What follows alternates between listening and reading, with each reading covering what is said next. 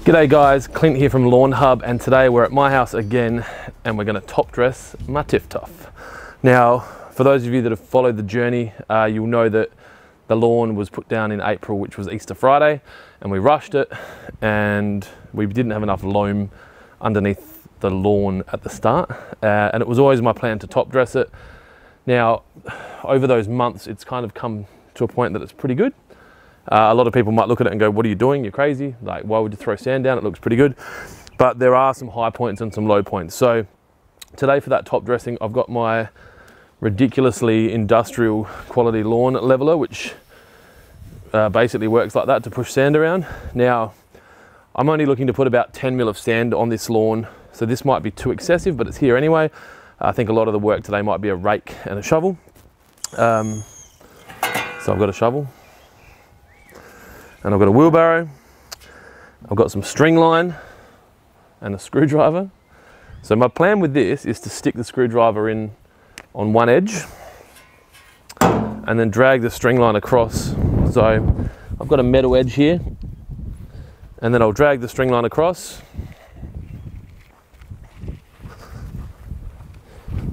and kind of sit it there and get a good indication of where we're looking. So at the moment, down the other end of that string line, I want to put a bit of sand there, but here I'm not, I'm not unhappy with that. Uh, my plan is to get it pretty close to the top of this, this edge here. Uh, the lawn long term is going to be mowed at probably 12 mil.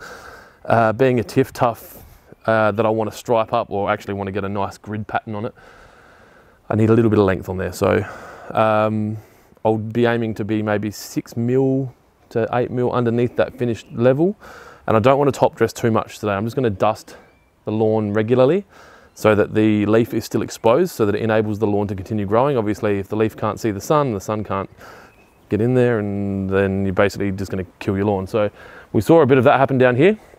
This has actually come back quite good and I'm, i might get Duffy to cut in a screenshot now of the, the patch that was here. We had basically a sandpit created here for my kids as a bit of a joke, but also a bit of top dressing. That sprinkler was quite high.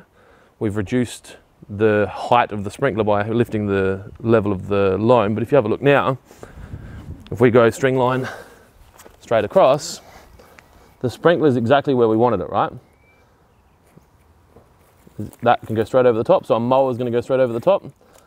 Uh, and it's come up quite a lot. So if I don't go too thick, I think we can do this in a couple of top dresses over the coming month with the plan that by Christmas Day, COVID being cool, uh, we can have family and friends around here on a flat deck with diamonds because diamonds are man's best friend.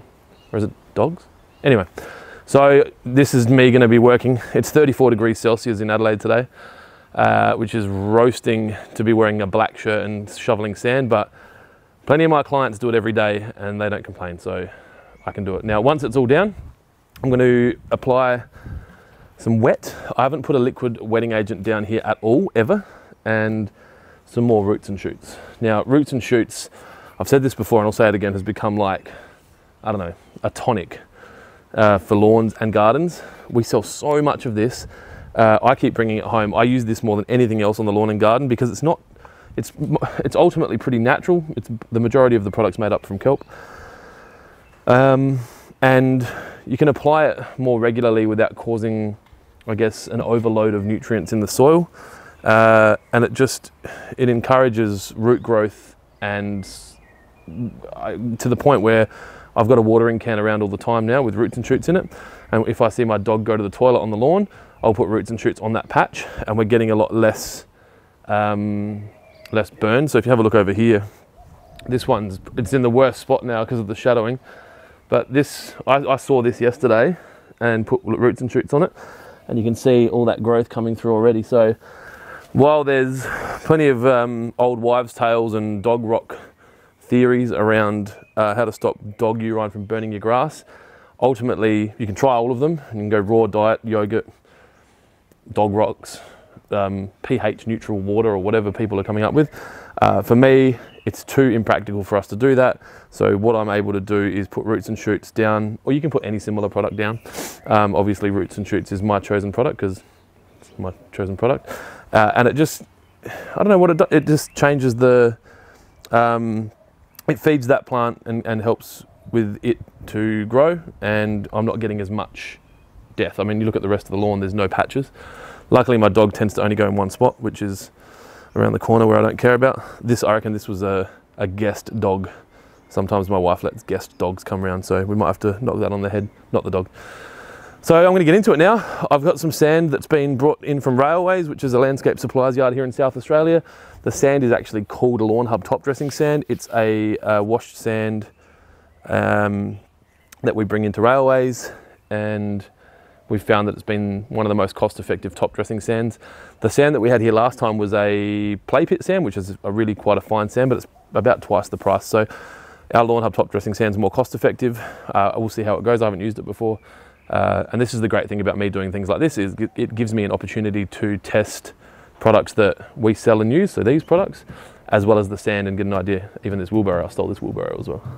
So, and this, we rent this out. So all of these things um, are things that I benefit from using and hopefully uh, you can get some kind of insight around TifTuf and top dressing from the video. If you've got any questions or comments, as always, please stick them in the comment section below. And if you haven't subscribed, please subscribe, subscribed, please subscribe to the channel uh, so that you don't miss out on any future videos. I better get into it because it's 10 to 10 and it's about to get really hot here in Adelaide. So I'm gonna go start bringing some barrows in and start filling that area in. I've ordered two and a half ton of sand. I've got a bad feeling I've ordered about one and a half ton too much, but luckily we've got the internet and I can give it away on the internet.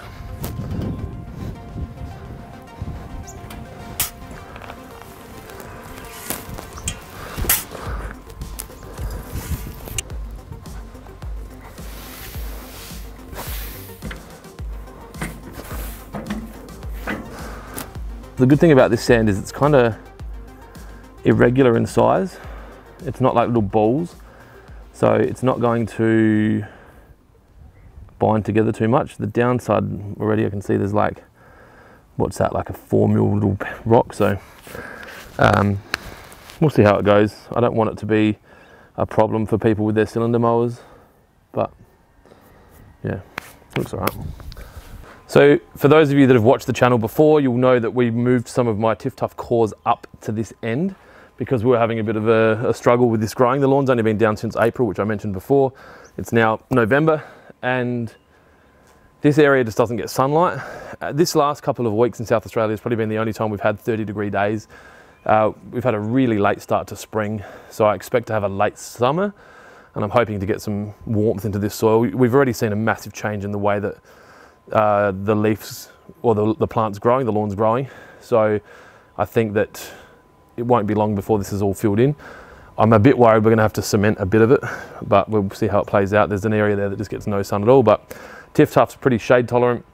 I've seen it grow in some very shady areas. I just don't think it didn't get a chance to establish. So we'll put a bit of sand down here today. Max said it was fine for me to top dress this area, uh, just not to go too thick, make sure that we've still got some leaf sticking out uh, because obviously sand's a nice growing media for this lawn. So it'll spread out nicely and it'll also help me bring that area up a little bit. So there's somewhere we can stick that excess sand.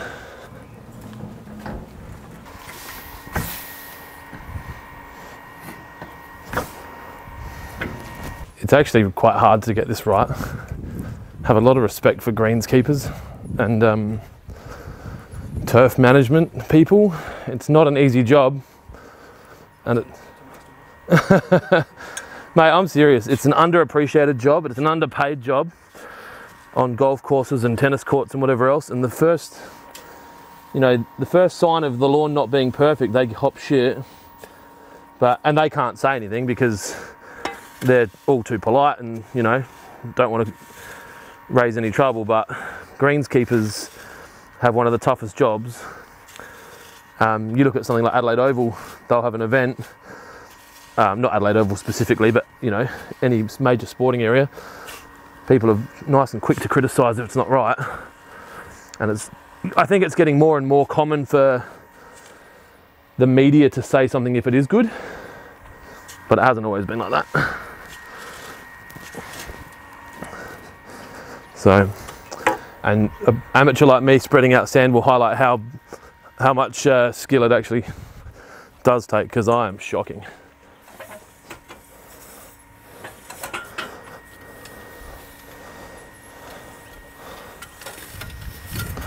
That sand was quite wet. You can see the colour difference. Shows how hot it is today.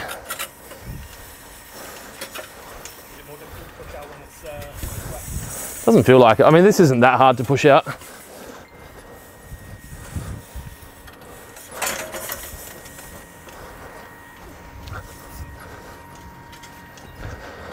I'm going to give it a water in. I'm not sure if that's a thing. Um, I found that that last lot was a lot better watered in. Uh, I think for a couple of reasons. One, the kids couldn't get to it, uh, but it also got through the canopy. So once it was through the canopy, it let, meant the lawn could get to the sun.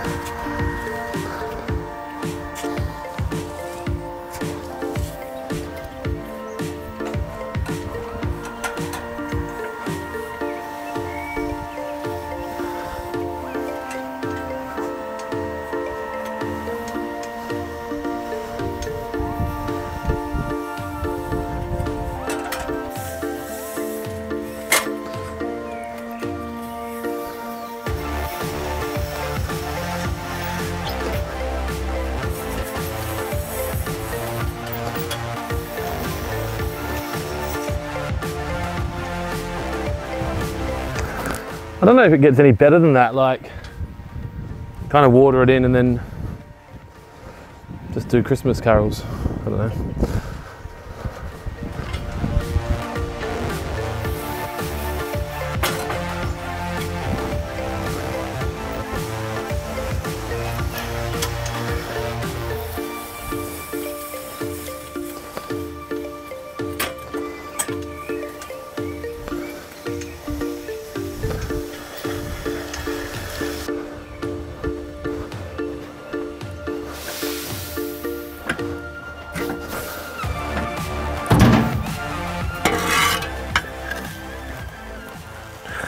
So we tend to need a little bit more on that, on the edges. That's where all the irrigation trenches were.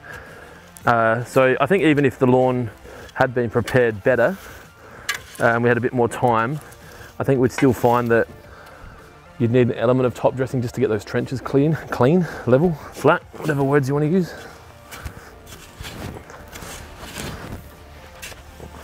Now, I don't want to put too much over there because that's going to uh, be a sprinkler repair area soon. For those of you that tune into the Water Pro YouTube channel, this is the second time that has happened. Uh, turns out sprinkler fittings don't handle Scott Bonner 20 inch unicorns like they used to. So uh, that's going to be a job for another day, which will give me an excuse to hand water this area for a while. So it's looking pretty good here. We're actually right up on the edge. So it's more this way than that way. Now I found spreading out the sand with this shovel uh, works better first and then using the, the leveler to follow it up works well. Once I get the sand up to the right height, I'm going to run over the sprinklers without breaking them, hopefully.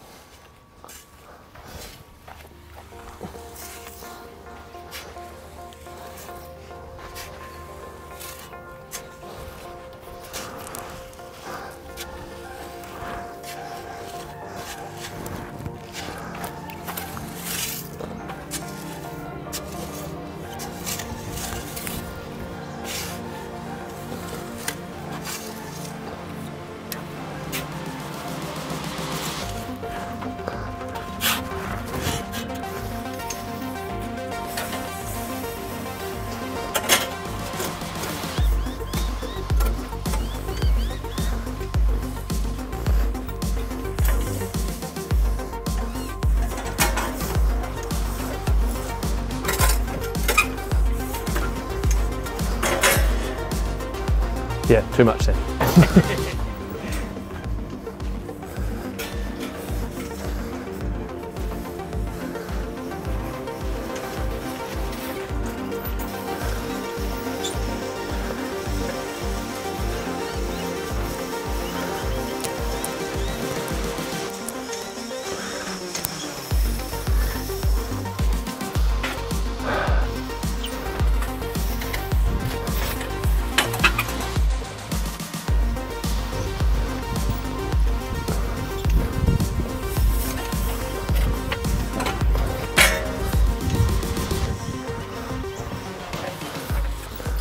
So I'm going to put some uh, wet and some roots and shoots out now as a tank mix, which means I'm mixing it in the same tank to spray it out. Uh, people might be wondering why I'm going to put it out above.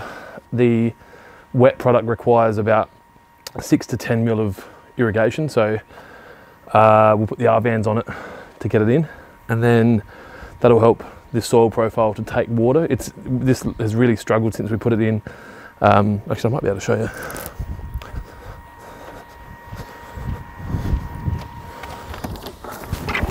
So if you go like you put water on the top of this lawn, it just sits on it and just doesn't disappear like it is a little bit since we got it cored. But yeah, see it's running and so we get heaps of puddling down the end there. If you go down and have a look, you'll see there's a puddle at the end.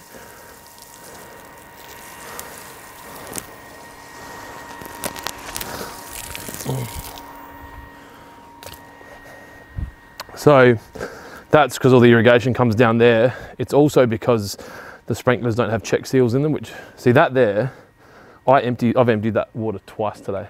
So it's still going down there, which there's two things. One, the lawn doesn't have a deep root zone, so the water's not getting into the ground. But two, I might be irrigating for too long.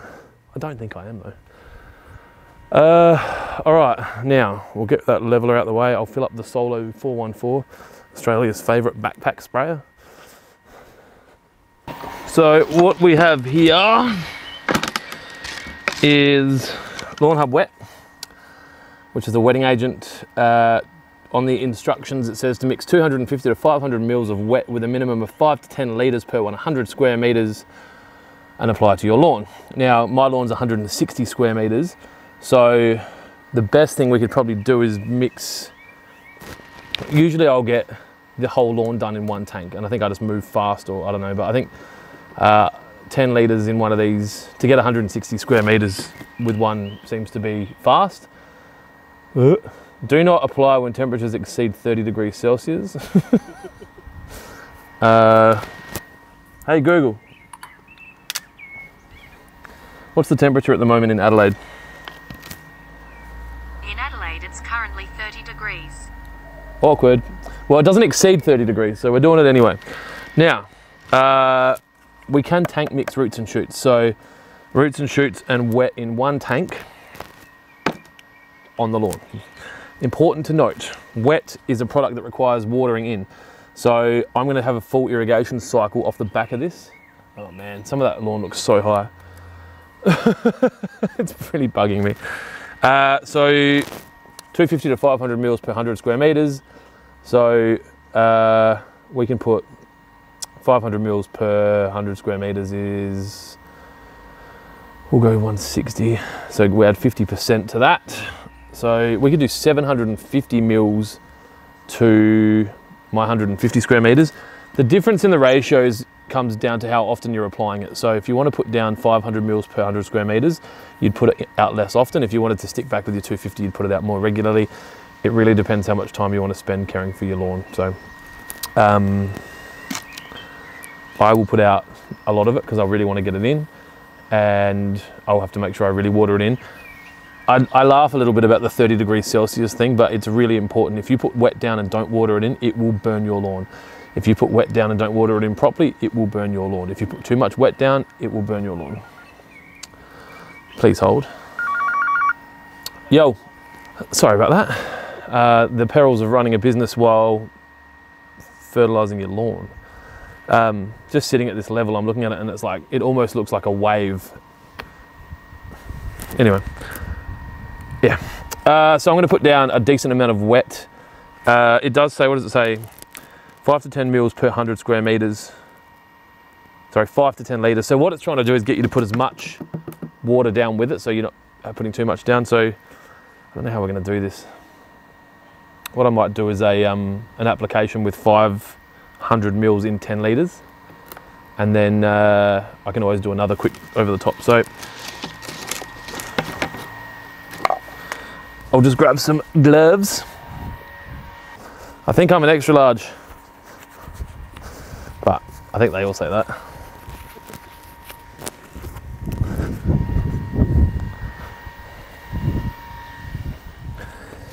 So you can either use the uh, friendly measuring thing here, or you can use a measuring jug of some variety. I don't have a measuring jug of some variety. Well, I do, but my wife's uh, not as keen and supportive as she used to be about me using her cookware for fertilizing. Wow, this is super viscous. I haven't used wet before. It's so thick. All right, so that's 100. That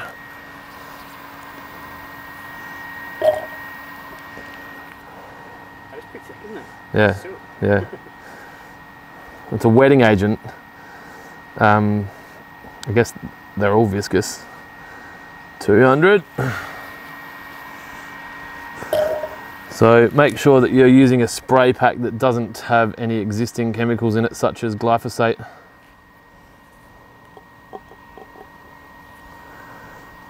Uh, I'm using a Solo 414. One of the most common questions we see is that three? One of the most common questions we see on all of the forums and the Facebook groups is what's the best backpack sprayer I can buy for blah blah blah blah blah. Now, obviously, the best backpack sprayer or the best sprayer you can buy is the one that you can afford. Um, if you don't have any budget constraints, I highly encourage you to look at the Solo range. You don't need to buy it from Waterpro, you can railways, you can buy it, or you don't have to buy it from Lawn Hub, you can buy it from whoever sells it. I don't really care. Um, I do care, but I'd prefer that you support us. We do a lot and we're pretty competitive. Come on! Uh, my forearms are going to feel that tomorrow. So, in hindsight, I probably would have used a measuring jug for that one. Um, yeah, so if, you can get, if, if money's not an object, and they're not that expensive, they're $200. We regularly have them for 180 if you get a discount code. Uh, so, roots and shoots. Uh, 60 to 100 mils per 10 litres. So 100 mils per 10 litres. Now, if you overdo overdo roots and shoots, don't get too concerned. Um, it's not a product that is that strong, so uh, you're not going to burn anything. I know guys using five times the recommended dose on this. In saying that, I do not recommend you going off label and also uh, any other fertilizer product that we sell, if you do overdo it, you're going to damage your lawn. Now, the next step is to put some water in your spray unit. Now, you want to make sure that you're putting your water in not too crazily because you're going to get splashing. So you want it to go in slowly, but you want to be able to agitate the the products and get it all mixed up. And then get mixing straight uh, get spraying straight away. So the great thing about this sprayer is as soon as it's full it's good to go. Now I made some videos the other day where I said to leave this off when priming. I got a heap of messages from people saying there's heaps of different ways to prime these things. Uh, I'll show you a few of them one of them said there was a button on the side you could press or remove. I think it might be that. Turn that. But uh, Shane Benton from Bento Boxes are us. Shout out to Shane, massive supporter of Lawn Hub. He said you can. I'll show you. So at the moment, oh come on, Basic Threads with Clint Adams. So that's on now, and I hope this doesn't make an idiot of me, but it won't be the first thing that does. So I've turned it on at the side there, pumps on. Now you press press that, and it's not coming out. It's struggling. So Shane said if you crack that there, it will prime, but then it goes. There you go. Now I probably cracked it more than I needed to. Um, I'm going to stick with my method because I got shit on my hands. Um, I'm wearing gloves to protect myself, so that's all good. But um, yeah. Anyway, that's primed and ready to go. So now I'm going to apply this as evenly as possible to the lawn, and then we're going to water it in, and I'm going for a swim.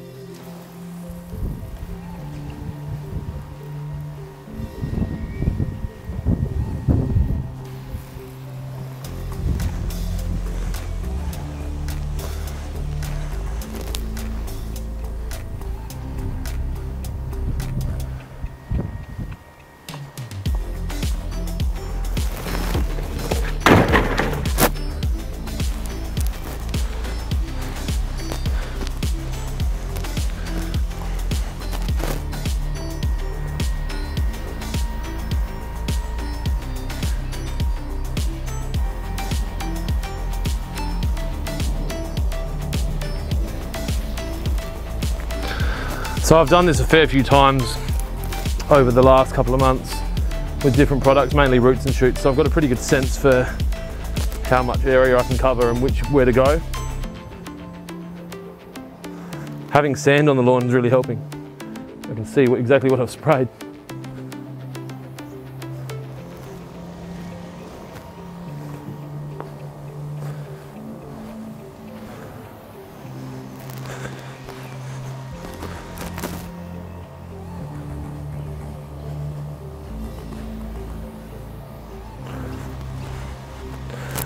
It's funny, you also get a sense for how much you've got left in your, ba in your backpack. You kind of feel, feel it getting lighter. So I've just dropped this off the shoulder to get all the liquid into the pump. It actually drops off onto that right shoulder really easily. I'm just gonna apply a bit more down here. This is an area where it's not getting, or where it's getting, um, all the water ends up. So I don't know if that's the right idea, but usually if I've got roots and shoots left, I'll just put it straight on the garden. I don't want to spray a wetting agent straight onto the leaf of the plant.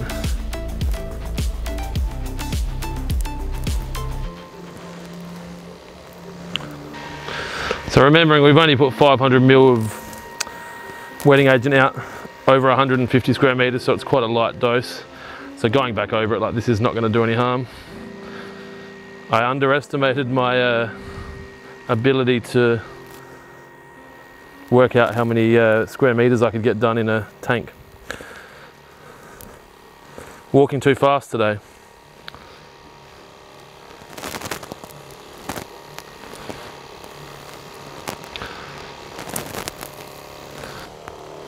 All right, there we go, she's done. So, turn it off.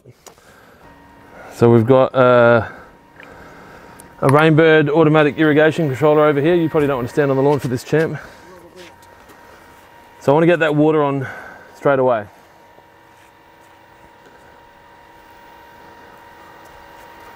Looks darker already out there, eh? So I'm going to do, there's two stations for 10 minutes, one and two, and start them. Now station three has been turned off because it's broken, so that won't turn on. And then I'm going to go water the other bit over the other side by hand uh, because I ran over the sprinklers.